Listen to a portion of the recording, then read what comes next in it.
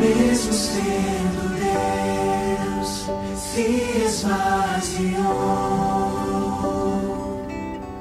fazendo-se escravo por amor. Olá, irmãos e irmãs, aqui é o Padre Carlinhos, Padre Deoniano, Padre da Congregação dos Padres do Sagrado Coração de Jesus.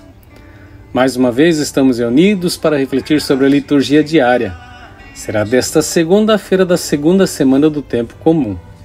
A primeira leitura é tirada da carta aos Hebreus, capítulo 5, versículos de 1 a 10. O Salmo é o 109. O Evangelho é Marcos, capítulo 2, versículos de 18 a 22. A nossa reflexão é baseada no livreto Igreja em Oração da CNBB. Nesta semana continuamos nossa meditação juntamente com o autor de Hebreus. Agora ele nos apresenta a pessoa de Jesus em sua relação com o ministério sacerdotal.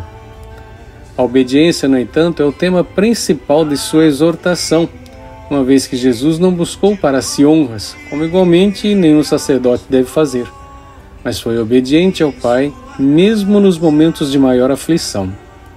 É assim que ele se tornou a nossa salvação, porque soube colocar sua vida nas mãos de Deus.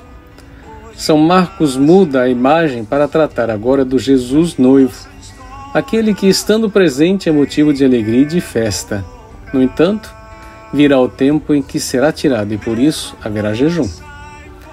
A prática externa da religião deve estar conectada com a disposição interna do coração. Voltamos assim ao verdadeiro gesto de obediência.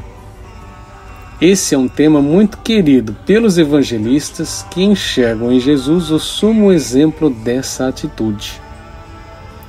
O discípulo alegra-se com a presença do Mestre e, assim, comunga de sua obediência na prática do amor. Que o Espírito Santo nos ajude a que sejamos obedientes, a que pratiquemos o amor. Deus te abençoe.